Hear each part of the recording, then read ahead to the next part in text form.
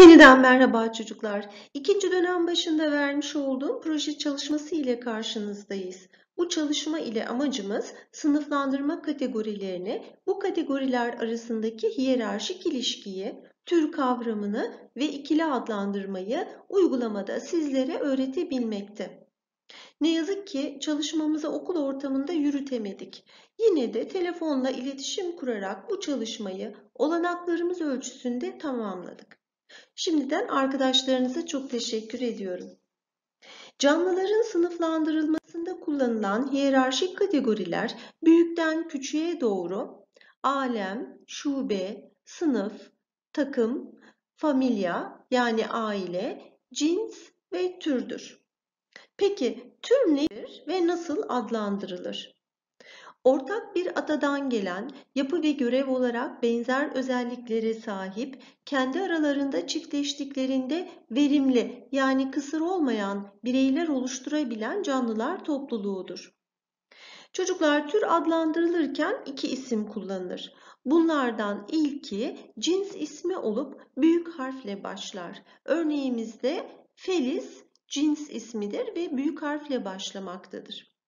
İkincisi tamamlayıcı isim olup küçük harfle başlar. Bu örnekte gördüğünüz gibi tamamlayıcı isim Leo'dur ve küçük L ile başlar. Feliz, Leo ikisi birlikte bu canlının tür ismini oluşturur. Burada bahsedilen tür aslandır. Şimdi bu fotoğrafları dikkatle incelediğimiz zaman görüyoruz ki bu sardunyanın yapraklarında tüy yok ve sürünücü bir gövdeye sahip sardunya türüdür. Bu sardunya halk arasında sakız sardunya olarak bilinir. Bilimsel ismi ise Pelargonium peltatum'dur. Pelargonium sahip olduğu hiyerarşik kategorilerdeki cinsin adıdır. Peltatum ise bu türe verilen tamamlayıcı isimdir. En çok bilinen sardunya çeşidi ise Pelargonium zonale'dir.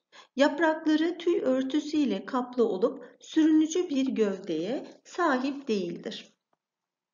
Çocuklar peki herbaryum nedir acaba? Herbaryum kurutulmuş bitki örneklerinin hazırlandığı ve saklandığı yerlerdir.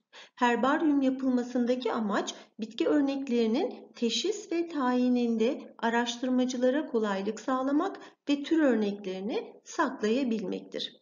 Bir herbaryum bitkisinin kurutulması ve isimlendirilmesi gerekir. Bunu yapabilmek için de elbette sınıflandırma bilgisine sahip olmak gerekir. Şimdi 9C sınıfından Evgenya Şupileva ile Merve Nur Erler arkadaşlarınızın herbaryum çalışmasını izleyelim.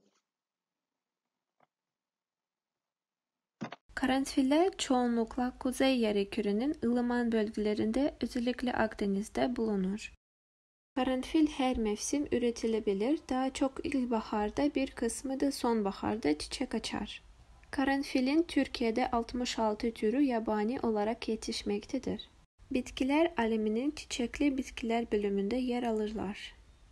Ficare çok yıllık bir ottur. Nemli toprağı, güneşli ya da yarı gölgede bölgeleri tercih eder, donlara dayanıklıdır. Sıcaklığın düştüğü ve günlerin kısaldığı kış aylarında büyümeye başlar, bir yıl boyunca fide kalır, Mart aylarında çiçek açar. Bitkiler aleminin çiçekli bitkiler bölümünde yer alırlar. Veronica polluta yol kenarı, tarla ve çayırlarda görülür. Çok yıllık, sürüngen bir bitkidir. Mart-Haziran arasında açık mavi ve mor renkli çiçekler açar. Bitkiler aleminin çiçekli bitkiler bölümünde yer alırlar. Papatya giler familyasından gelen portakal nergisinin tür adı Calendula ofinalis'tir. Ülkemizde süs bitkisi olarak geliştirilmektedir. Dayanıklı, ince tüylerle kaplı yeşil renkli, etli ve sulu gövdesi, köşeli ve dallara ayrılan yapıdadır. Güneşli yerleri, kum ve kil karışımı gevşek toprakları sever. Cerania tür adı Pelargonium peltatum'dur. Pembe renkli, yaprakları biraz tüylü, uygun hava sıcaklıklarında bütün yıl çiçek açabilen, budanmazsa boyu bir metreye geçebilen bir süs bitkisidir. Ana vatanı Güney Afrika'dır.